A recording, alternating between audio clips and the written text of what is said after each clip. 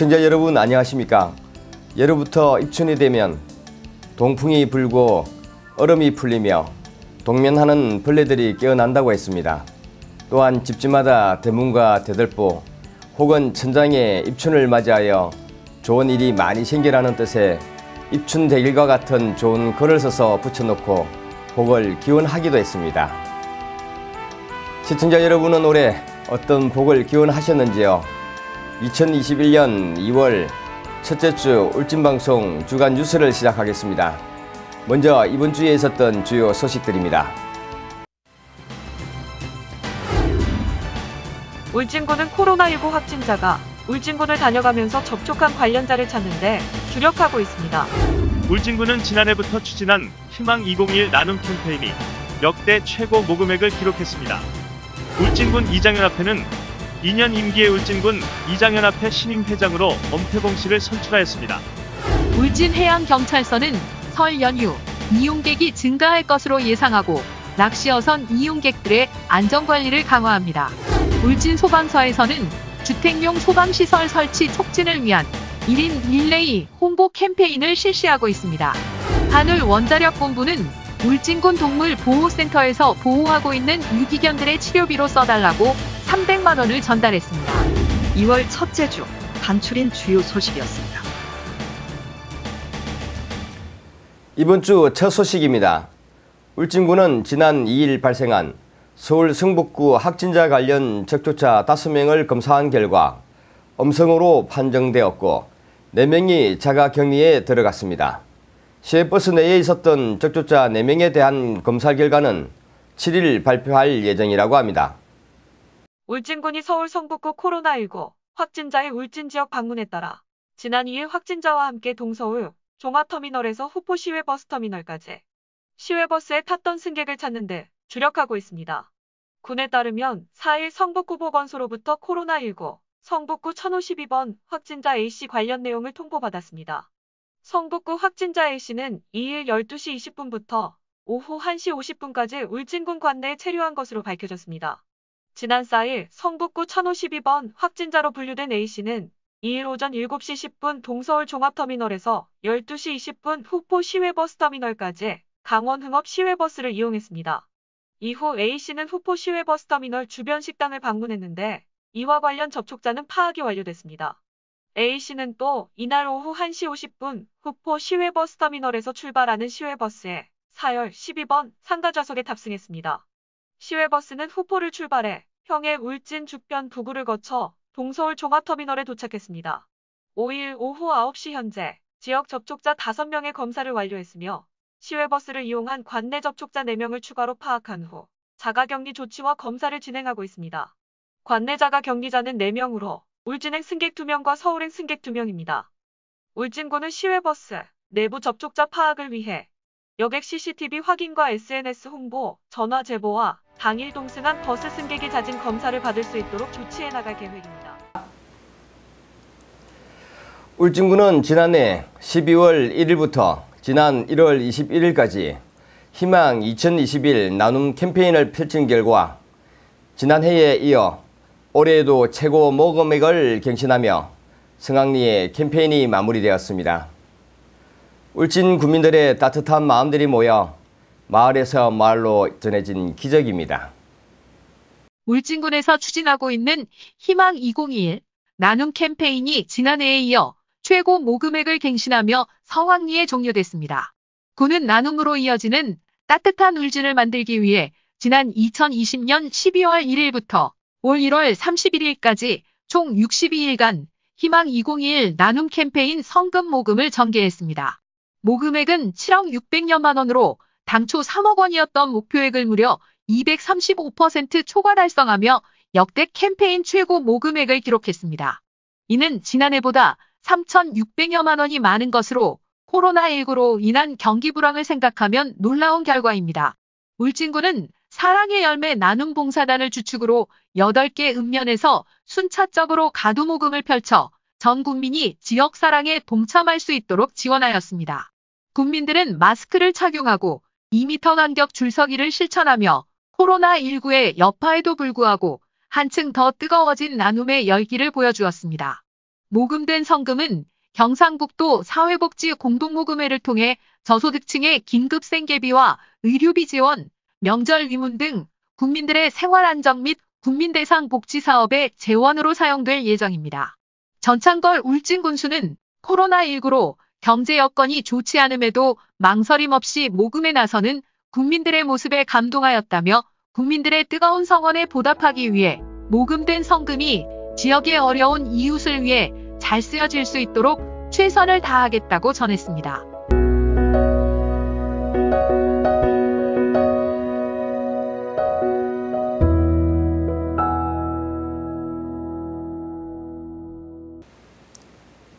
울진군은 효율적인 조직 운영과 부서 간의 경쟁력 제고를 위하여 지난해 주요 업무 자체 종합 평가를 실시해 최우수 부수로 도시 새마을가와 울진업을 선정했습니다.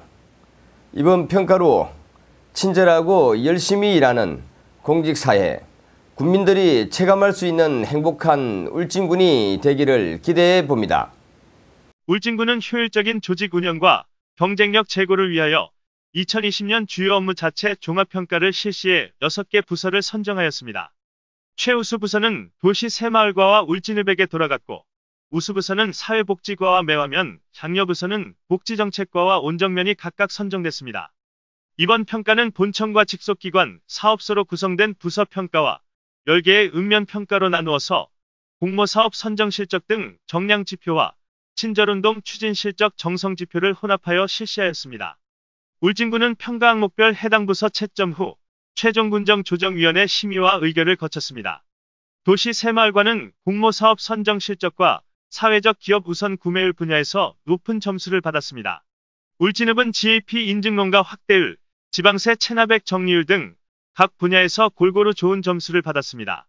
사회복지과와 매화면은 친절운동 추진평가에서 각각 최고점을 받았고 장려 부서에 선정된 복지정책과는 언론보도 실적 분야에서 온정면은 신속 집행률 분야에서 우수한 평가를 받았습니다.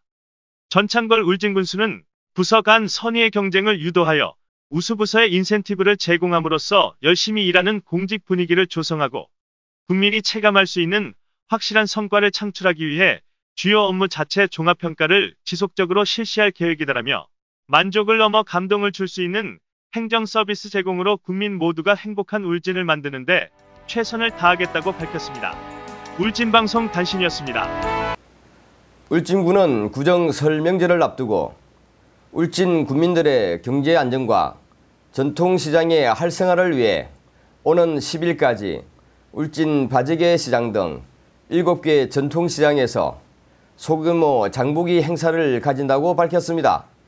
울진군은 설 명절을 앞두고 서민 경제 안정과 전통시장의 활성화를 위해 오는 10일까지 울진 바지개 시장 등 7개 전통시장에서 소규모 장보기 행사를 가진다고 밝혔습니다. 이번 설맞이 장보기 행사는 코로나19 사회적 거리두기 방침에 따라 군 공무원 600여 명이 설대 목장의 혼잡을 피하면서 실질적으로 상인들에게 도움이 되도록 4명 이하로 팀을 구성해 소규모로 장보기를 진행할 계획입니다. 아울러 코로나19의 재확산 방지를 위해 울진 바지개 시장, 온라인 쇼핑몰인 바지개몰 닷컴을 통한 비대면 장보기도 적극 추진할 계획입니다. 또 울진군은 설 제수 품목 가격 동향 파악을 위해 물가지도 점검반을 별도로 편성해 주요 품목의 가격 표시제와 불공정 거래 행위를 지도 점검하여 서민 물가를 안정시키면서 방역 및 환경 정비를 철저히 실시해 코로나19로부터 안전한 전통시장 장보기 환경을 조성할 계획입니다. 전창걸 군수는 이번 행사가 코로나19로 침체된 전통시장에 활력을 불어넣을 수 있는 계기가 되길 바란다며 국민들도 설 성수품을 전통시장에서 구입하여 지역경제 살리기와 전통시장 활성화에 동참해주길 바란다고 전했습니다. 울진보건소는 지난 29일 경로당 행복도우미 14명을 대상으로 겨울철 환자가 많이 발생하는 대표적인 질병인 심내혈관 질환의 예방과 혈관 건강 지킴이 양성 교육을 실시했습니다. 울진군은 지난 1월 29일 경로당 행복도우미 14명을 대상으로 심뇌혈관 질환 예방 혈관 건강 지킴이 양성 교육을 실시했습니다.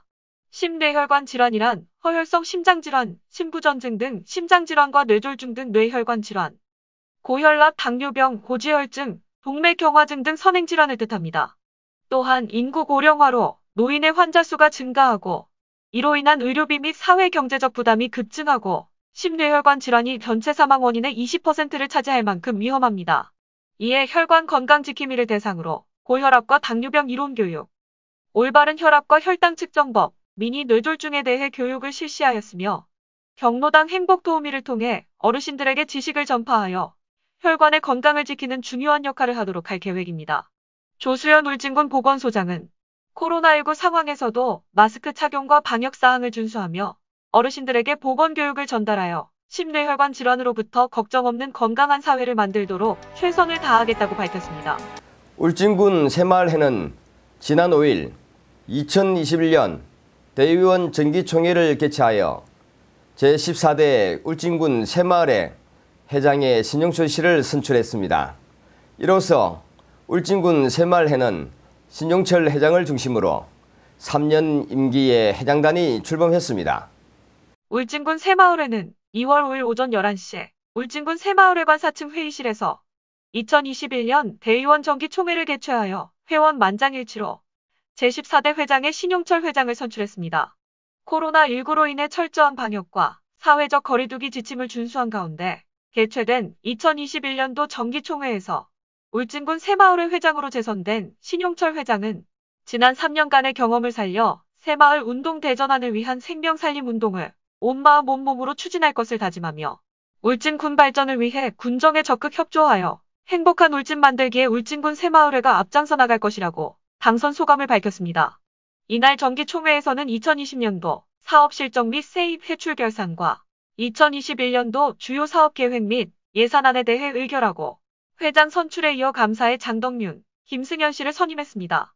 앞서 울진군 새마을 분여회는 지난 1월 19일 정기총회를 개최하고 황영분 회장의 연임을 확정하였으며 새마을 지도자 울진군 협의회도 1월 21일에 정기총회를 개최하여 윤창수 전북면 협의회 회장을 새로운 회장으로 선출하였습니다. 그리고 1월 22일에는 직장 새마을운동 울진군 협의회와 새마을문고 울진군 지부가 정기총회를 열어 장현칠 씨와 조상현 씨를 각각 선출했습니다. 이로써 울진군 새마을에는 3년 임기에 회장단의 신용철 회장을 중심으로 윤창수 새마을 지도자 울진군 협의회장, 황영분, 울진군 새마을 분여회장, 장현칠 직장 새마을운동 울진군 협의회장, 조상현 새마을문고 울진군 지부회장이 흘러가게 되었습니다.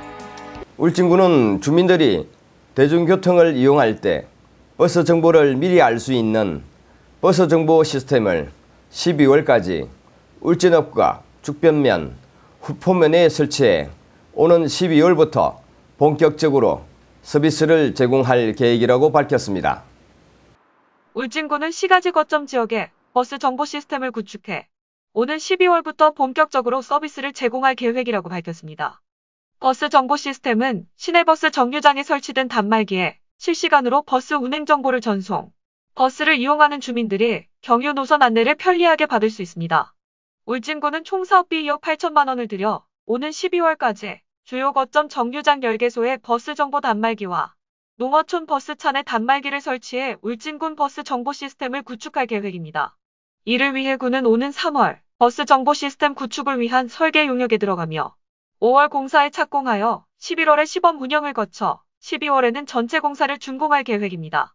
주요 사업 내용은 정류소 안내 단말기 10대와 차내 단말기 22대, 하드웨어와 상용 소프트웨어, 응용 소프트웨어를 일식, 기반 데이터 구축 일식 등입니다. 안내 단말기가 설치되는 주요 거점, 정류장 10개소는 울진읍에 6개소, 죽변면에 2개소, 후포면에 2개소입니다. 군 관계자는 농어촌 버스의 운행 정보의 제공으로 이용자들이 버스를 기다리는 대기시간 해소와 승객의 만족도 향상이 기대된다고 밝혔습니다. 울진방송 단신이었습니다.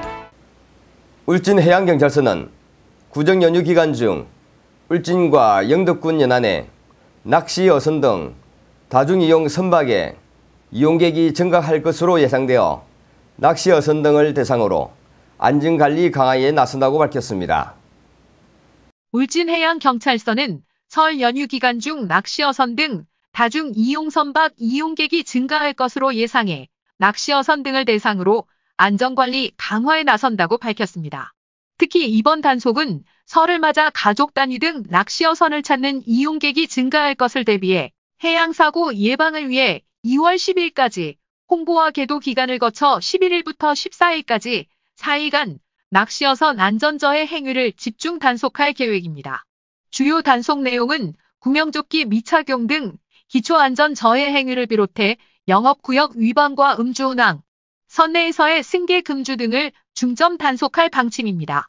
울진해경 관계자는 설 명절을 맞아 울진과 영덕군 해역에서 해양사고가 발생하지 않도록 최선을 다하겠다며 특히 다중이 이용하는 낚시 어선에서의 사고 발생 시 큰 인명사고로 이어질 수 있는 만큼 낚시업자와 승객들이 안전수칙을 꼭 지켜줄 것을 당부했습니다. 경상북도 교육청과 울진교육지원청은 민족 고유의 명절인 설을 맞이하여 울진읍에 있는 사회복지시설인 L요양원을 방문해 시설 관계자들을 격려하고 따뜻한 정을 나누었습니다.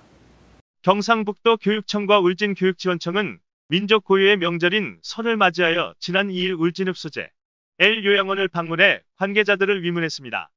이날 방문은 코로나19 재확산 방지를 위해 방문 인원과 방문 시간을 최소화하는 등 사회적 거리 두기 방역 수칙을 철저히 준수하며 이루어졌으며 나눔과 배려 문화를 확산하고 이웃사랑 실천을 위해 진행됐습니다. 경상북도 의회 남영대 도의원도 함께 방문하여 관계자들을 격려하고 따뜻한 정을 나누는 시간을 가졌습니다. 임종식 경북교육감은 코로나19로 지치고 힘든 시기에 어려운 분들을 위해 헌신해 주시는 복지시설 관계자들의 노고와 헌신에 감사드린다며 이번 위문이 지역사회에 나눔 문화를 확산시키는 계기가 되어 어려운 이웃들이 행복한 명절을 보내는 데 도움이 되었으면 한다고 전했습니다. 한편 경북교육청은 매년 전통 명절을 앞두고 사회복지시설을 방문하여 나눔의 온정을 펼쳐 사회복지시설은 물론 직원들에게도 많은 용기와 희망이 되고 있습니다. 울진군 평해읍은 코로나19로 인해 어려움을 겪고 있는 전통시장과 영세 사행인을 돕는 장보기 행사를 통해 전통시장의 따뜻한 정을 느끼며 친절과 미소가 어우러진 행복한 평해를 만들기 위해 설맞이 전통시장 장보기 행사를 실시했습니다. 울진군 평해읍은 지난 2일 설맞이 전통시장 장보기 행사를 실시했습니다. 이날 행사는 코로나19로 인해 어려움을 겪고 있는 전통시장 및 영세 상인을 돕는 장보기 행사를 통해 전통시장의 따뜻한 정을 느끼며 친절과 미소가 어우러진 행복한 평해읍을 만들어 나가는데 앞장서고자 마련되었습니다. 이번 설맞이 장보기 행사는 코로나19 사회적 거리두기 방침에 따라 어깨띠 착용 및 현수막 게시 등 단체로 장보기를 피하고 마스크 착용 등 개인 방역에 철저를 기하며 어려운 여건 속에서도 상인들에게 실질적으로 도움이 되도록 4인 이하로 분산하여 소규모 장보기 행사를 가졌습니다. 방영섭 평해읍장은 코로나19로 주민 모두 힘들지만 이번 행사로 지역 상인들에게 조금이나마 힘이 되었으면 한다며 풍성한 설명절을 보내기를 바라고 미소로 함께하는 친절한 평해읍을 은민들과 함께 조성해 가겠다고 전했습니다. 울진소방서는 지난 2일부터 5일간 안전하고 행복한 설명제를 위한 화재 예방 대책과 주택용 소방시설 설치 1인 1레이 홍보 캠페인을 실시했습니다. 울진 소방서는 지난 2일부터 5일간 안전하고 행복한 설 명절을 위한 화재 예방 대책과 주택용 소방시설 설치 촉진 1인 릴레이 일제 홍보 캠페인을 실시하고 있어 화제가 되고 있습니다. 이번 캠페인은 코로나19의 장기화에 따른 대민 접촉을 최소화한 비대면 홍보로 화재 안전 관리를 통한 안전 환경 조성 및 국민이 따뜻하고 편안한 명절을 보낼 수 있도록 주택용 소방시설 설치와 의무화에 대해 집중 홍보하고 있습니다. 환기형 예방 안전 과장을 비롯한 소방 공무원과 의용 소방대원이 참여하는 캠페인은 지난 2월 1일부터 5일간 하루 1시간씩 동일 시간대에 후포 한마음 광장과 온정 로터리, 울진농협 하나로마트 앞, 죽변항 입구와 북면 부구 터미널 순으로 실시될 예정입니다. 예, 오늘 하는 이 행사는 곧 다가오는 설 명절을 맞이하여 울진 국민들이 안전하고 따뜻한 설 명절을 보낼 수 있도록 어, 각 개인 가정마다 주택용 소방시설을 선물하자는 취지에서 행사를 개최하게 되었습니다. 작년까지 울진 군 전체에 약 단독 경보용 감지기가 주택의 한 40% 정도 지금 설치가 진행되었고요. 그래서 아직까지도 많이 미진한 편인데 각 그 군청이나 각 이제 기관하고 마을 이장단과 협의해서 앞으로 지속적으로 어, 주택용 소방시설 설치해서 어, 안전한 울진 군, 군이 되도록 어, 화재 예방 대책에 만전을 기하도록 하겠습니다. 민족 최대의 명절인 설이 이제 10여일 앞으로 다가왔습니다. 주택용 소방시설 설치를 위한 1인 릴레이 일제 홍보 캠페인을 통해 안전하고 행복한 설 명절이 되기를 기대해 봅니다. 울진 방송 김영규였습니다. 한수원 하늘본부는 울진군 동물보호센터에서 보호하고 있는 유기견들의 치료비로 써달라고 300만 원을 전달했습니다. 한국수력원자력 주식회사와 하늘원자력본부는 지난 3일 울진군 동물보호센터에서 보호하고 있는 유기견들의 치료비 300만 원을 지원했습니다. 한울 원자력본부는 반려동물의 유기와 유실을 방지하고 책임 있는 반려동물 양육문화 정착을 위하여 지난 1월 11일부터 29일까지 3주간 반려동물 사랑 캠페인을 시행했습니다. 반려동물 사랑 캠페인은 SNS를 통해 반려동물의 사진과 사랑이 담긴 메시지를 게시하고 이를 인증하면 참가 인원에 따라 유기견 치료비로 최대 300만 원을 지원하는 기부 챌린지 캠페인입니다. 한울 원자력본부는 캠페인 참여자 1인당 치료비 만 원을 적립하기로 계획했지만 울진군 동물보호센터 유기견들 사이에서 바이러스성 전염병이 유행하며 치료비 부담이 크게 증가함에 따라 1인당 2만 원씩 기부하는 것으로 상향 조정했습니다.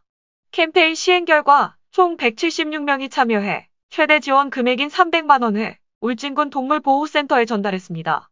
울진군 동물보호센터는 하늘본부로부터 받은 지원금으로 심장 사상축 및 전염병 등 상태가 위중한 유기견 치료에 사용할 예정이라고 밝혔습니다. 캠페인 참여자들은 SNS를 통해 작은 사랑과 관심이 모여 보호소 아이들에게 큰 힘이 되길 바란다. 좋은 취지의 캠페인으로 마음이 훈훈해졌다고 소감을 밝혔습니다. 앞으로도 하늘본부는 울진군을 대표하는 기업으로서 지역 사회에 늘 관심을 갖고 어두운 그늘을 밝히는데 앞장설 예정이라고 전했습니다. 울진군은 그동안 간내에서 발생하는 수지절단 환자들을 울진의료원에서 수술하지 못하고 다른 도시로 보내야 하는 상황이었습니다. 하지만 지난 2020년 7월부터 전문성과 임상 경험이 많은 정형외과 전문의를 울진 의료원에 초빙하여 지난해 11월에 수지 절단 수술 두 건과 12월에는 손가락 기형 수술 한건등 최근 3건의 수술을 성공적으로 시행해 이제 울진군 관내에서도 수술과 치료가 가능해졌습니다.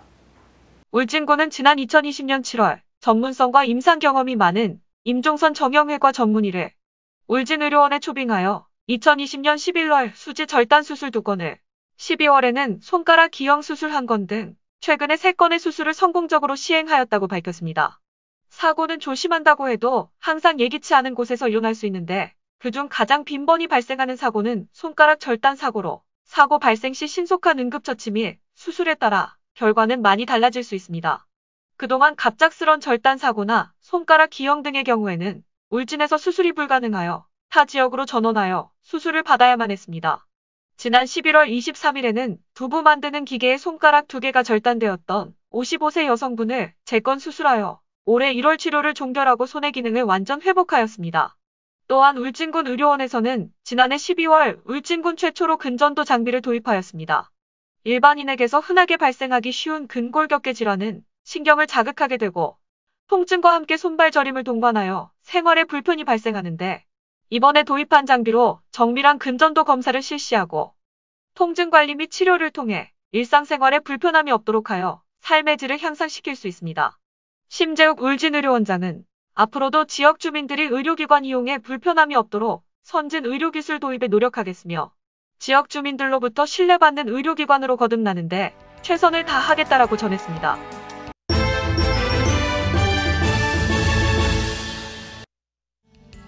전 세계가 코로나19로 혼란스러웠던 지난해 세월을 건너뛰어 다시금 대중의 관심을 받은 소설이 한 권 있습니다. 바로 1947년 출간된 알베르 까미의 페스트인데요. 이 작품은 알제리의 한 도시에서 전염병인 페스트가 창궐하면서 드러나는 나약한 인간의 모습과 다양한 인간 군상을 그려내고 있습니다. 70여 년 전 소설 속 이야기는 21세기의 현실이 됐고 우리는 코로나19라는 전대미문의 전염병과 힘겨운 싸움을 이어가고 있습니다.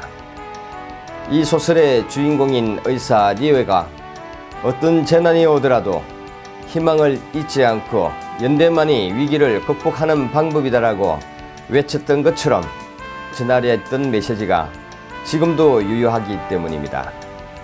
그래서 우리는 희망을 얘기하려 합니다.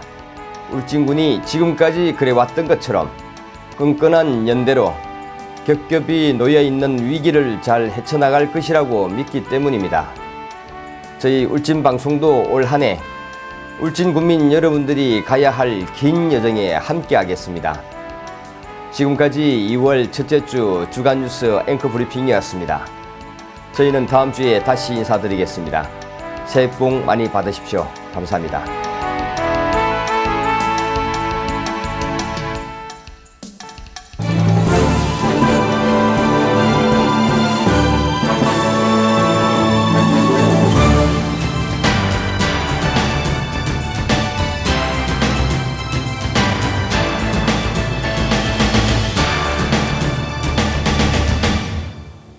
계속해서 울진 방송 영상 에세이가 이어집니다.